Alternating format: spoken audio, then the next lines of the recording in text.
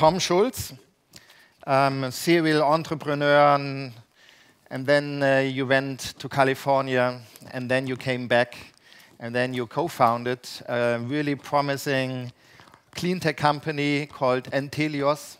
It's about demand response in the smart grid, and you are going to explain your pitch to us. Thank you. Das macht keinen Unterschied, ja. Am I on the sound system actually? Sie können ja Yeah. Jörg nach seinen Erfahrungen. Ihr seid auch dran, so lustig. One, two, three. One, two, three. One, two. Okay. So, good evening, ladies and gentlemen. Thank you, Jan, for the introduction. Uh, actually, I prefer to call me uh, call myself a computer scientist with an MBA. Um, so that my background is really in, in technology and the internet. Um, today, I'm here to talk about Entelios and to introduce demand response. Demand response is important because it gives us another solution option other than choosing between nuclear power plants and CO2 emitting uh, fossil fu fuel power plants. There's more. There's demand response, for example. Uh, Entelios was founded 2010 in July in Munich and Berlin. We founded the company immediately as an Aktiengesellschaft, as a German shareholders uh, corporation. And our business is, this is the long definition here, is um, building a large network of decentralized electrical devices, could be storage devices, batteries, loads, large um, engines and pumps, or generators. And we use that as a large virtual storage power plant. And with this power plant, we participate in the existing power and electri electricity markets, selling it to utilities and grid operators.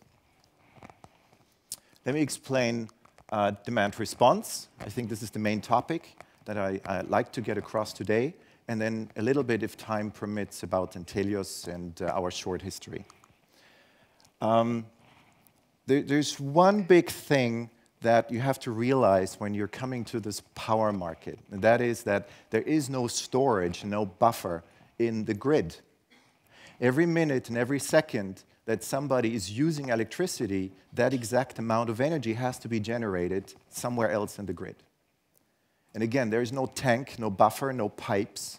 It has to happen at the same instant. And therefore, everybody in, this, uh, in, the, uh, in the grid industry and the uh, electric industry is planning ahead. So uh, the, the big utilities uh, that have to provide electricity to Berlin, for example, are buying electricity ahead almost three years ahead. Um, and the generators, the people uh, owning the power plants, know exactly the schedules they have to drive or operate their plants on today and in three years. Um, so, where's the problem? The problem is that, of course, nothing happens according to schedule. Uh, some solar uh, photovoltaic plants or wind uh, parks feed in more or less than was predicted. Uh, predictions are okay uh, on average a day ahead or hours ahead. But in five minutes from now, there could be a cloud or the wind slows down. And that instant, a reserve power plant has to be switched on immediately to provide the power and keep the grid frequency and voltage stable. So the, one of the tasks, important task of the grid operator, Übertragungsnetzbetreiber in, in German, is to keep the frequency at 50 hertz and nothing else. They are getting a heart attack at 49.5.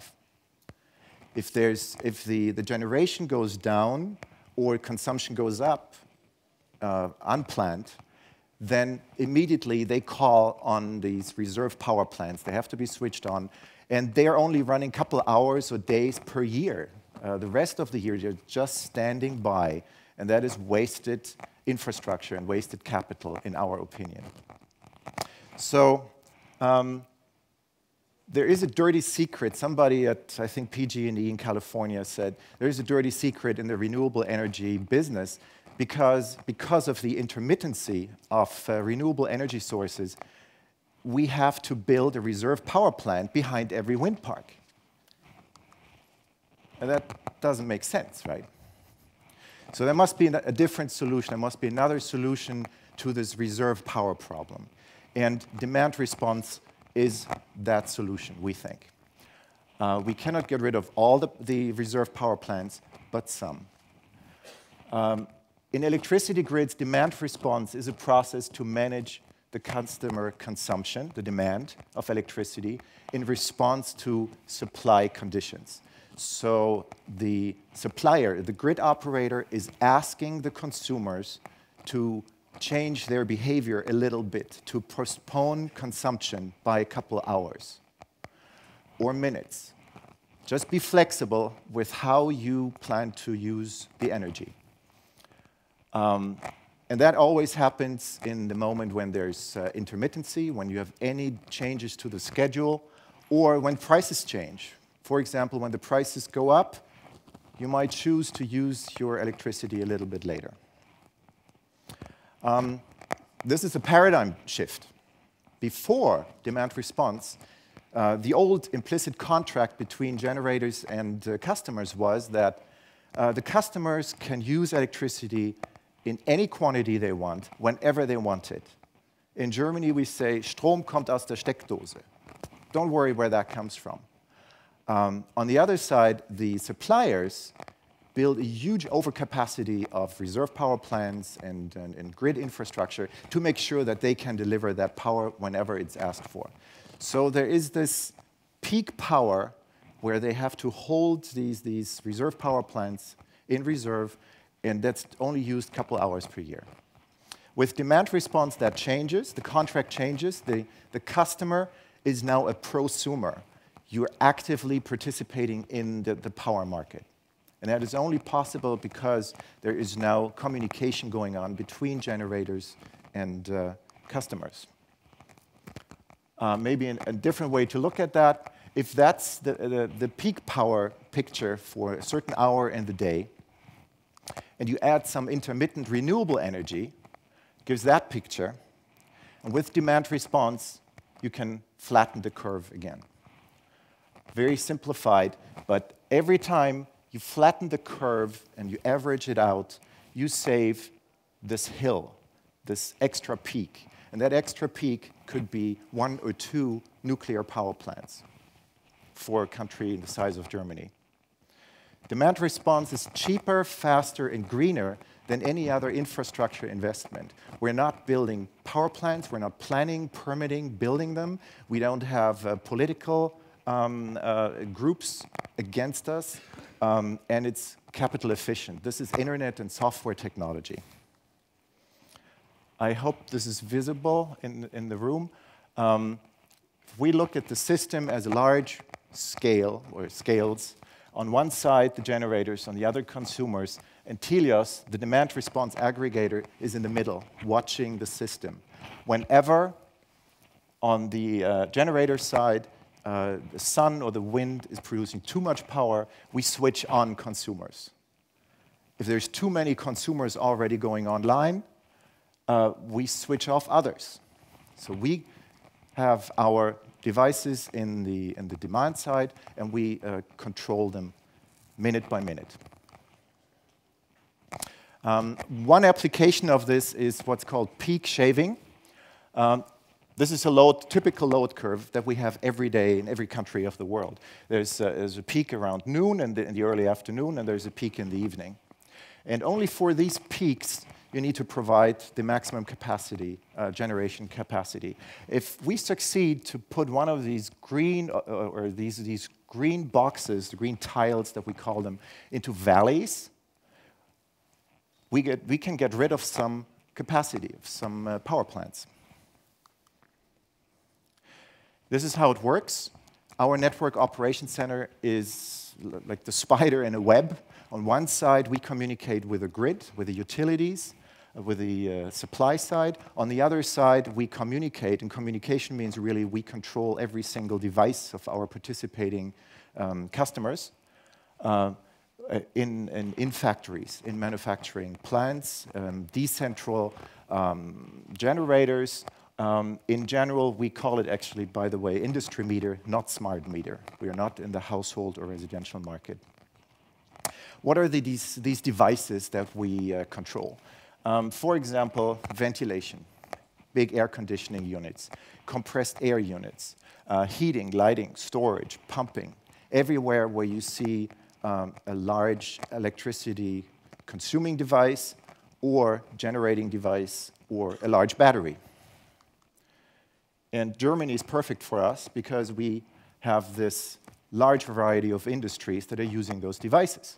Um, actually, in our ongoing pilot project this year, we're starting with breweries, companies based in Munich. So, of course, we, we start with breweries. They have a wider variety of devices where we can learn um, with cooling, groundwater pumping, storage, and so on.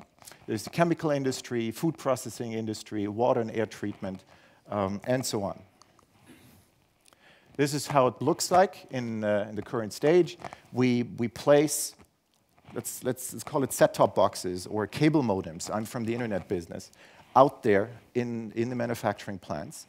Um, they control over the in industry standard bus systems in the, um, uh, of the industrial automation uh, uh, technology, um, pumps and the, and the end devices. And um, we see, we connect those boxes over the internet or cellular uh, networks with our uh, servers in Munich and Berlin. Uh, let's see where the time is. So wh what's the effect on the economy um, or society in general? Um, we're facing um, uh, targets for renewable energy sources. They should go up. Uh, energy pr uh, productivity should go up. Uh, CO2 emissions should go down.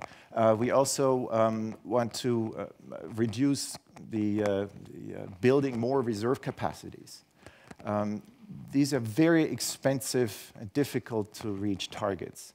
On the other side, businesses face electricity, high electricity costs, so they are motivated to, to, to, uh, to actually cooperate in the market to, to lower the electricity cost.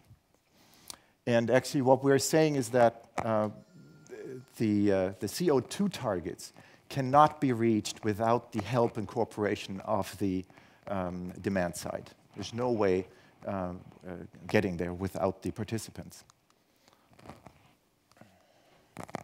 Uh, this is one chart, I promise only one chart like this. Um, if you look at all the hours in a year uh, on the x-axis, and you look at, you measure the, uh, the load, the uh, electricity that was consumed in this hour on the y-axis, and then you sort it, you see that only five hours in 2008 were responsible of using the last two gigawatts.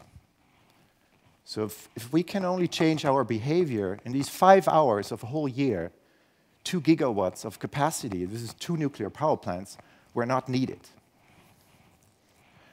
And demand response is only one of three elements, and we think an equal, equally footed element of lowering peak load and the energy consumption in a country like Germany. One is, of course, energy efficiency, which lowers the, the whole um, uh, need for energy generation. The second block is renewable energy. But the third one, which is only active in a couple hours per year, lowers the demand for generation capacity by two gigawatts.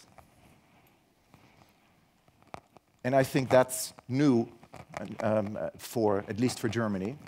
Uh, in, in the US, uh, demand response is well established by players like Enernoc and Comverge, and that's because the grid is, uh, is very unstable. So they had to come up with an emergency mechanism to save the grid when, when, when a brownout or blackout is coming on. Um, but demand response in, in Germany or the European market has a different application, and we think it's this. It's the overall um, lowering of the peak consumption.